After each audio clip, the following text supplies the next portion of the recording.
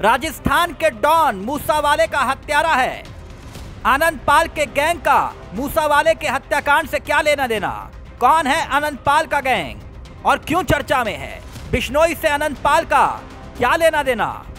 और क्यों मूसावाले से जोड़ा जा रहा है अनंत पाल गैंग का किस्सा? बताएँगे आपको एक एक तार कहाँ जाकर जुड़ रहा है? क्योंकि मूसावाले की हत्या के राज से पर्दा उठाने के लिए पंजाब के साथ साथ दिल्ली पुलिस लगातार कोशिशों में जुटी है और इन कोशिशों में कई राज खुलते हुए सामने आ रहे हैं।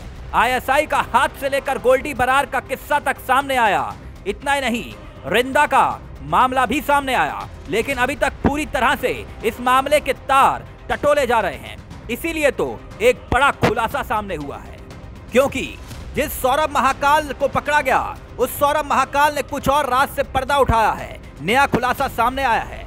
पुलिस के खुफिया सूत्रों के मुताबिक लॉरेंस बिश्नोई का भाई अनमोल, जो कि खुद एक गैंगस्टर है, उसके गहरे संबंध राजस्थान के डॉन कहे जाने वाले अनंत पाल के गैंग से हैं।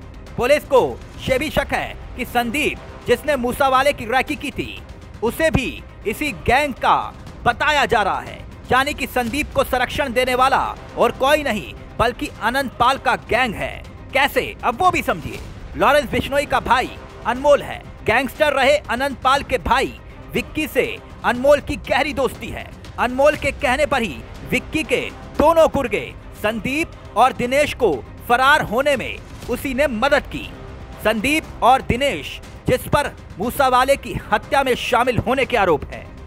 हैरानी की बात यह है कि साल 2017 में चूरू ज़िले के गाँव मालसार में अनंत पाल सिंह का एनकाउंटर होने के बाद लॉरेंस बिश्नोई के गैंग ने तेज़ी पकड़ी। इसके बाद धीरे धीरे काला जठेरी और गोल्डी बरार के साथ मिलकर लॉरेंस ने अपनी ताकत को बढ़ाया।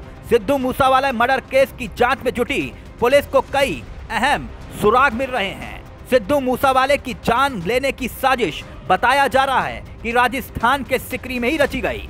सिकरी सिंधु मूसावाले की हत्या की योजना बनाने के बाद बकायदा पंजाब के मनसा ज़िले के गाँव मूसा में सात दिन तक सिद्धू मूसावाले के घर की रैकी तक की गई।